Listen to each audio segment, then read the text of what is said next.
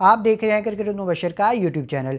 पाकिस्तान और इंग्लैंड के दरमियान पहला टेस्ट मैच रावलपिंडी में यकम दिसंबर से पाँच दिसंबर के दरमियान खेला जाना है। बहुत अच्छी खबर है रावलपिंडी के क्रिकेट फैंस के लिए, क्योंकि पहले बहुत सी खबरें चल रही थी कि शायद पाकिस्तान और इंग्लैंड का जो पहला टेस्ट मैच है, जो रावलपिंडी में होना है, उसको शायद कराची मुंतकिल कर दिया जाए, क्योंकि जो पोलिटिकल सिचुएशन थी वो कुछ अच्छी नहीं नज़र आ रही थी। पर यह कन्फर्म हो चुका है कि पहला जो टेस्ट मैच है वो रावलपिंडी में ही खेला जाएगा। और इंग्लैंड की जो टीम है वो कल रात को पाकिस्तान की सरजमीन पर पहुँच चुकी है।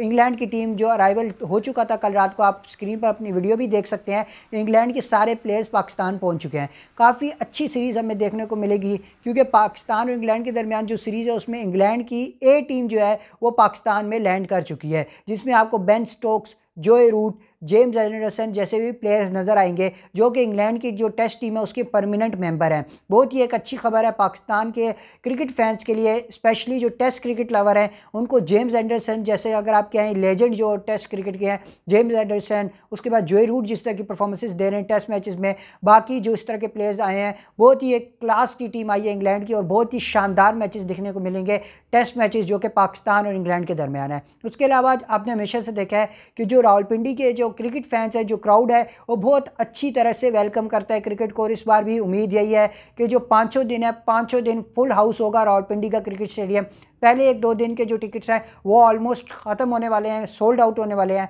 और सैटरडे संडे तो आपको पता है वैसे ही सोल्ड आउट होता है। तो इंशाल्लाह जो पहले मैच के सारे दिन हैं, सारी आपको सोल्ड आउट नज़र आएँगे। हम भी स्टेडियम में मौजूद होंगे, ज़रूर आप तक सारी जो सिचुएशन होगी, वो भी शेयर करते रहेंगे, जो वीडियोज़ होंगी शेयर करते रहेंगे। चैनल को ज़रूर सब्सक्राइब करें ताकि उसके वाले से सारी अपडेट्स आपको मिलती रहे। उसके बाद अगर हम बात कर लें थोड़ी सी टाइमिंग की कि टेस्ट मैच की जो टाइमिंग है, वो क्या होगी? तो पाकिस्तानी वक्त के मुताबिक जो टेस्ट मैच का जो पहला दिन होगा, वो सुबह दस बजे शुरू होगा और ऑलमोस्ट जाके शाम को आप कह सकते हैं four thirty to four forty तक के दरमियान कई मैच एंड किया जाएगा। उसके अलावा हर दिन सुबह दस बजे शुरू होगा और फोर थर्टी फोर्टी या फोर्टी फाइव तक मैक्सिमम खेला जाएगा शाम के तक।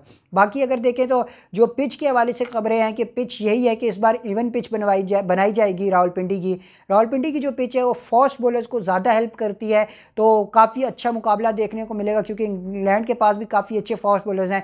पाकिस्तान के पास भी जिस तरह के एक्स्ट्रा पेस के वाले फास्ट बॉलर्स हैं तो काफ़ी एक अच्छा मुकाबला होगा पाकिस्तान और इंग्लैंड के बॉलर्स के दरमियान। उसके अलावा अगर हम बात करें कि पिच इस बार बोला जा रहा है कि इवन पिच बनाई जाएगी बैट्समैन और बॉलर्स दोनों को हेल्प मिलेगी क्योंकि हमने पिछली सीरीज़ में देखा था कि ऑस्ट्रेलिया और पाकिस्तान की जो गेम खेली गई थी रावलपिंडी क्रिकेट स्टेडियम में तो काफ़ी एक अजीब सी पिच थी। खाली बैट्समैन को हेल्प मिल रही थी और बॉलर्स के लिए कुछ भी नहीं था। तो इस बार सुनने में ये आ रहा है कि इवन पिच होगी और बॉलर्स को भी हेल्प मिलेगी और बैट्समैन भी जो अच्छी बैटिंग कर सकेगा, टेक्निकल जो बैट्समैन है, उसको अच्छी वो बैटिंग कर सकेगा। उसके अलावा देखा जाए तो पाकिस्तान की तरफ़ से हारिस रऊफ़ के डेब्यू करने के बहुत ज़्यादा चांसेस हैं। मोहम्मद नवाज़ भी प्लेइंग एलेवन का हिस्सा बनने जा रहे हैं। तो देखते हैं क्या मोहम्मद इब्रार इब्रार अहमद जो हमने अभी एक मिस्ट्री स्पिन रखे हैं, क्या उनको भी मौका दिया जाता है या नहीं दिया जाता? आई थिंक सो कि अगर नुमान अली को ना खिलाया जाए और इब्रार अहमद को खिलाया जाए तो ये एक बहुत अच्छी ऑप्शन है कि परफॉर्मेंस इब्रार अहमद ने अभी हमने कायद अजम ट्रॉफी में देखी है तो काफ़ी अच्छा परफॉर्म कर रहे हैं।